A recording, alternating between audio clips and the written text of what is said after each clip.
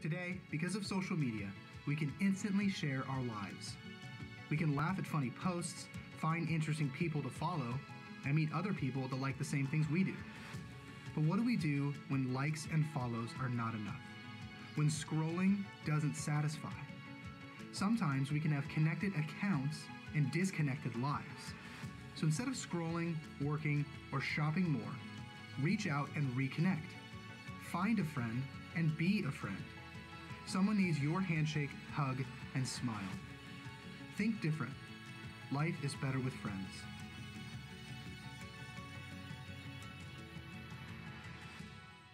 We're in continuing a series entitled Think Different. And God's Word challenges to think different about our life, to kind of take the blinders off and look beyond ourselves. This weekend, I want to speak on a subject. Now, the title is not original with me, but when I read it, I came across it one time and it just seemed to be a powerful statement. And I'm going to use that statement as the title of my message, which is Encouragement is Oxygen for the Soul. Encouragement is oxygen for the soul. I've discovered that there are about three reasons why people go to church. Three main reasons, not necessarily in this order. People go to church for worship, and we have done that. People go to church because they want to hear God's word. They want to learn more about the Bible, and that's a good reason to go to church. But there's another top reason, I think, in the top three why people will go to church, and that is for encouragement. And sometimes the day when you're, you don't feel like singing a song and you really don't want to hear a message, you will go because you need encouragement. Encouragement is oxygen for the soul. Several years ago, when Denise, before Denise and I had children, and we were beginning in ministry, we had moved from New Mexico to Texas because I was going to Bible college to prepare for ministry. And we, I enrolled in Bible school. Denise worked full time. She worked first at a bank, then she was working at an insurance company. And by chance, I was hired on as a, at a church. It was kind of a small to medium sized church as, to help out and teach classes and so forth, my first ministry position. And I was paid the large sum, or $50 a week, for about 30 hours. Just figure out the hour per uh, I, wage I was making. But I was glad to have it, and I, I, my heart was for ministry. Together, Denise and I didn't make $800 a month. Our rent on our one bedroom apartment was $218 a month.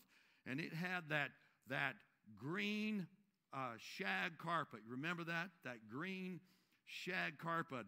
And you'd have to rake your carpet. Some of you have no idea what that means. How many remember shag carpet? And you'd had to rake it. But the problem is the first time you step on it, your footprints would just, would just mat it down. That was our apartment. And we were in ministry planning. I was in my third year of Bible school, had one more year to graduate. And uh, a terrible situation occurred in the church and impacted so many, impacted the church, impacted our lives. But the pastor and his wife that we were serving for, they split up and they divorced tragically. I still remember him calling me in my office, calling me into his office and disclosing that with me. Well, he left the church, and, and that means that I didn't have a position, uh, I didn't have a job. Well, Denise, as it happened to be, working at an insurance company, her supervisor was the pastor's wife. And that was an awkward situation to be in. And when they split up, my job ended. Denise walked into work one day, and, and the former pastor's wife terminated her on the spot. So instantly, we didn't have any income. We were not making ends meet then. Have you ever had a moment when you had more month than you did income? You know what I'm talking about? I mean, the, it's all spent, payday is here, and you won't get paid till next month. But the bank account is empty and you still have month left to go, and you're you're looking in uh, under the couch to see if there's a quarter here, or you're scrounging around. Have, have you ever taken the last bit of the ketchup and put some water in it and shake it up to make it go further? You know I'm talking about? No, some of you have no idea what I'm talking about. We have done that in order to stretch the grocery bill. Well, instantly, we did not have any income, and we were not making ends meet then. And I told Denise, I've done the math. I'm just going to have to drop out of Bible school. There's no way. I can't come up with the tuition. I can't come up with the books and the, the, the, uh, the to buy my textbooks. Uh, I'll just go to three years of Bible college, and maybe one day in the future, perhaps God will work it out that I can go back and finish. And all of us probably have said that and never finished something we intended, but it just it was out of my control. We had made the plan. She was looking for another job, but we were so far behind. And I just said, you know what? I can't come up with the tuition. I can't, I can't come up with the money to buy my textbooks. So in my mind, I'm dropping out. Now, somebody in the church just came up. His name was Joe, and he just randomly came up to me one day and said, What are your plans? You know, the pastor's leaving. What are your plans? And I didn't want to say I'm dropping out. There's just something about saying you're dropping out that feels like a failure. You know what I'm talking about? So, how can I say that in a euphemism? How can I put that in a way that doesn't, doesn't feel like a, a failure in my life? I said, Well, I'd like to finish if the Lord provides, you know. That's what you say. That's what you just say. If the Lord would work it out, and that's all I, I, I told him. But I'll tell you, I, I wasn't speaking in faith. Faith is when you can see it, and faith is when you're declaring it, and faith, you know it's going to make it, it's going to happen. I didn't have the faith. I was already declaring, I'm dropping out. I would think it was just hope or a wish, or, or, or maybe it was a way to just kind of cover up a little bit of the embarrassment of the moment. I don't know. I just said, you know, if God works it out, that's fine, but we'll just we'll just go on from there. And we really didn't disclose anything about our situation to him. In just a few days, Joe came up to me, Joe and Claire, sweet people, and Joe said to me, Claire and I want to pay for your last year's tuition in books for you to finish Bible college. Oh, you'll never know at that moment what it meant. And what I want to say is at that moment, a man by the name of Joe, his wife Clara. They were figuratively, they let us sit in the love chair. That is to say, we didn't have anything to give. We, we, we didn't really have any faith at that time. We felt depleted. We felt stepped on. We felt used up. We felt like, God, it's the end. And we were, we were already making plans for a plan B then we just thought it could not work out.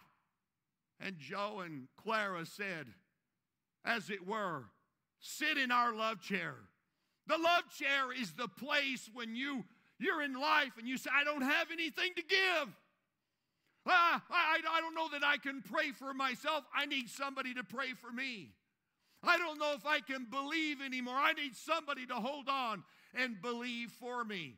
The love chair is the point when you say, I don't even have a good word to share with my spouse or myself. I just want to throw in the towel and I want to give up and I want to blame myself and I, I feel like I've messed things up. I, I feel like I'm, I, I, I've been taken off of the list of God's goodness. And then somebody lets you sit in their love chair. Joe and Clara let us sit, as it were, in the love chair. And something happened in my life at that particular time that I have shared through the decades. I have preached it, I have prayed it, I have spoken it. Something God put in my spirit at that moment through Joe and Claire, what God did. that I've said to somebody in an altar in a moment. I, have said it in, a, in an emergency room. I, I've said it in an intensive care unit. I've said it in the lobby. I've said it in the parking lot. I preached on it from this platform before, and God deposited that in my heart when I was sitting in their love chair. And that's this when you're down to nothing, God is up to something. That came in my ministry, that phrase came from that moment early on in my ministry. I realized when you have nothing, God can step in. God has somebody that will say, It's time for you to sit in my love chair. Yes. Season in our life. Denise and I just kind of walking through a strange season. Yes. And sometimes to just get away from things and get some time away and prayer time, I get on my bicycle and I'll take a ride. And I'll just take a 10 mile ride, sometimes a 20 mile ride. I like getting out and just taking a bike ride just off by myself. Now, some of you like to go to health clubs and you sit in a stationary bike, and I tried it one time, went there, and I'm in a stationary bike, and there's a mirror there. And I told Denise, I just can't look at myself for two hours, and just it's it's just so boring. I like to go out and take a ride, and I have a little device that's on the handlebars of my bike, and I take my iPhone and I open it to Spotify. I plug in the white wires and put them in my ear, and I just begin to listen to praise music. I'll be biking and sweat will be coming off of my face and on the phone, and occasionally I'll wipe it off because I don't want it to get damaged, you know, from the, the moisture. Denise tells me, take care of that phone. And so I'm trying to wipe the sweat off occasionally, you know, as it's dripping down as I'm in that position. But here recently, I'm on my bike and I'm riding. and my, my daughter and her family's on my heart. And I just began to pray for her. Oh God. Oh God. Oh God. And all of a sudden, it wasn't sweat that was falling on the phone, it was my tears. And something happened that didn't happen when I was perspiring, falling on my phone. And I noticed something as my tears hit the phone. Every time a tear hit the phone, it chose a different praise song. And it would go to another one. And it was skipping from song to song as my tears were falling. Literally, tears were choosing the song that I was listening to at that time. And during that time, just, just, there's encouragement that comes. Encouragement that comes. I, I, I, my, my friend Daniel, my friend Daniel will call me up. He's here in the church. He, he never asks me for anything, and if I'm not unable to answer the phone, he'll put a he'll put a voicemail and he'll say something encouraging. Pastor, I'm praying for you. Pastor, I just want to encourage you at this moment. And as it were, I'm in his I'm in his love chair. Patrick, you called me, buddy. And there are just times you say, Pat, you said to me, I'm your brother, and I'm going to always be here. And you don't know what that meant, Patrick, because I could just feel you say, Pastor, sit in my love chair anytime you need it. There are times in life we need to sit in the chair where somebody makes a deposit in our heart, makes a deposit in our life, because encouragement is oxygen for the soul. Go with me to Acts chapter 2, if you would. In Acts chapter 2, we're in this series right now. Pastor Jonathan preached on a couple of these verses last week. I'm going to pick up where he left off. We're in Acts 2. We began teaching at verse 42 and we're going to go through 47, but today I'm going to look at two verses, verses 44 and 45. And it speaks here of the early church, the New Testament church. Earlier in this chapter, the Holy Spirit fell. They were speaking in other tongues as the Spirit gave utterance. We believe that. We believe that experience is available to you. We are a spirit filled church unapologetically. We believe God wants to fill you with the Holy Spirit, evidenced by speaking in other tongues. Let's go down to verse number 44 and 45. And it says of the church, and all the believers were together and had everything in common. They sold their property and possessions to give to anyone, not their best friend, not their cousin, to anyone who had need. Now, what is impressive to me about these verses? Nowhere in the Bible is there a commandment, thou shalt sell your property and give to somebody else. Nowhere in Scripture does it say in the law in the New Testament, it doesn't command anywhere. If you have, and we'll just speak in their culture of that day, if you have, if you have six goats, you take two of them and sell or, or give them away to somebody that doesn't have a goat. Nowhere does it say if you have two cars, you're to give your car away to the person that doesn't have a car. It doesn't say that. It doesn't say that you're to take your couch and give it to somebody that doesn't have, you've got an extra TV to get. It doesn't say that because it's not a commandment. Then why is it in Scripture?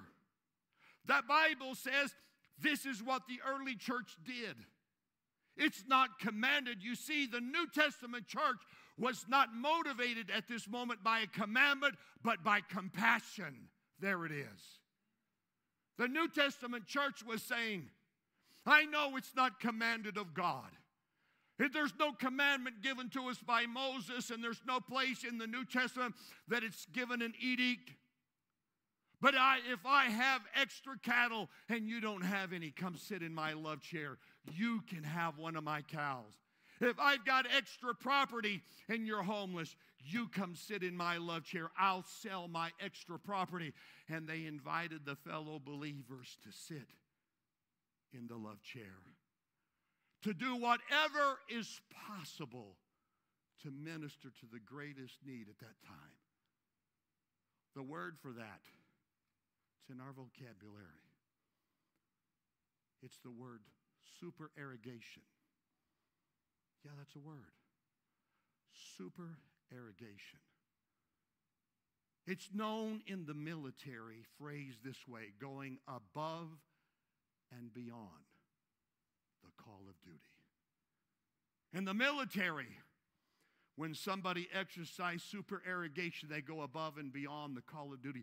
They're recognized. There's a medal, there's a salute. They are esteemed. That, that gives them rank, that gives them appreciation. And, and often the whole squad or the whole nation will applaud them and thank them. And here, the New Testament church they went above and beyond the call of duty to encourage somebody else. Quickly, let me just talk about encouragement if I can. The first thing I want to say is to everyone here, we need to enlarge our circle. Enlarge your circle. Enlarge your circle of encouragement. Think different. There's somebody you work for. There's, there's somebody in the family. There's somebody in this church right now. There's somebody you're near that needs encouragement. Enlarge your circle. Get, get, get out of the box that we put ourselves in and we walk past people and we don't see people. I'm going to invite you. I'm going to invite you to enlarge your circle. In fact, I'm going to end the service early as Pastor John did last week. And we're just going to invite you to stand in a little bit. And what's going to happen is we're going to invite you to go and encourage to talk to somebody. Say, I, don't know them. That's all right. Everybody that's your best friend, there was a time you didn't know them. Well, how do you do that? Well, smile at them to begin to do that, okay? Smile at them. Affirm them. Say something good. Don't, if they're an educator, what do you do? I'm an educator. Oh my God, I couldn't do that. That's the worst job in the world. Please don't tell a teacher that, okay? Okay, she feels that. That's how she that's how that's how he feels. So please don't say that to them, okay? Encourage them today.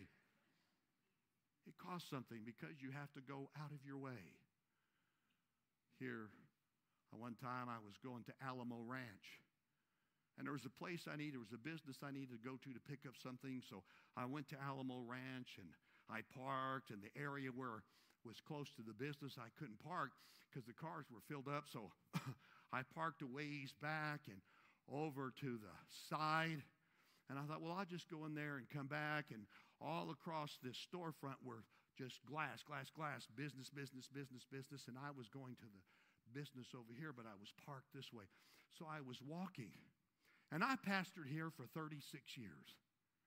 And when Denise and I go out to eat and we go to HEB, we go to the airport, uh, wh- wherever where we go, we meet people. We meet church folk. They talk to us. It's a wonderful thing. Uh, we'll meet people here, and somebody say, "You know what? My, my my grandson goes to your church, Pastor. I was there for a wedding, and I people know us everywhere we go, people know us, and we talk to people, and they wave at us, and they come over and talk to us, and we're sitting here drinking coffee or what, everywhere we go. Well, I parked and I was going to the business, and as I was walking to the business, there was this man that was waving at me. Well, that happens all the time, so I, I just waved back. Yeah. I kept going, and he keeps waving at me. I thought, well, he maybe he didn't see me. So I waved at him again. You know, he's waving at me. So I, I kept on, I kept on walking. And as I did, he kept waving. And I thought, you know, somebody in the church, he, is it a prayer? I need, he wants me to go pray with him. He, he's going through something. I, I need to go here, but I'm going to go here. You, you got to go out of your way. You got to go enlarge your circle. So I walked over there to talk to him, just to encourage him, just to be there. As, as a pastor, he wasn't waving at me. He was washing the windows in the in the in the inside there. I thought he was waving at me, okay? And I was just waving back, okay? What am I saying? I'm saying just just have a spontaneous heart. Always enlarge your circle. Whatever the moment is, whatever the time is, just be willing to do it. For you see, encouragement, number two, is an antidote. Encouragement's an antidote for stress. Encouragement's an antidote for weariness. Encouragement's an antidote for everything. And there's somebody here you need to encourage. And let me just say, folks sitting here, folks sitting here, God bless you, you've never met these folks over here. They really are good people. They really are good people. And you folks, you've never met these folks over here. And most of them are good people, okay?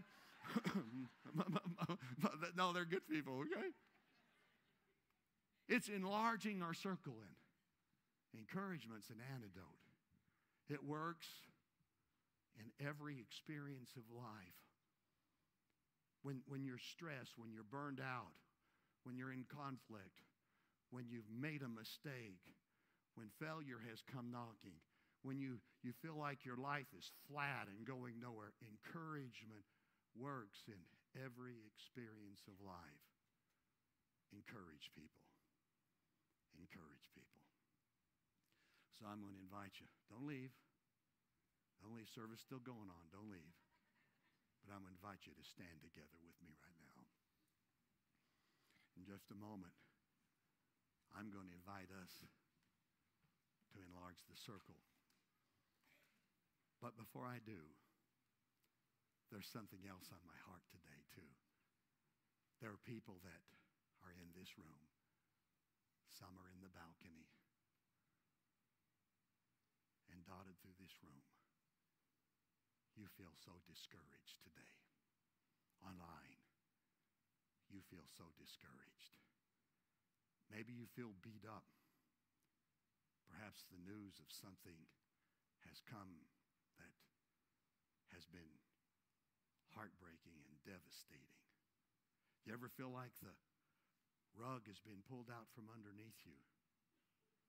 You ever feel like that's happened in life? You ever feel like that's happened in life? The rug has been pulled out from underneath you? Yeah, it happens. It happens.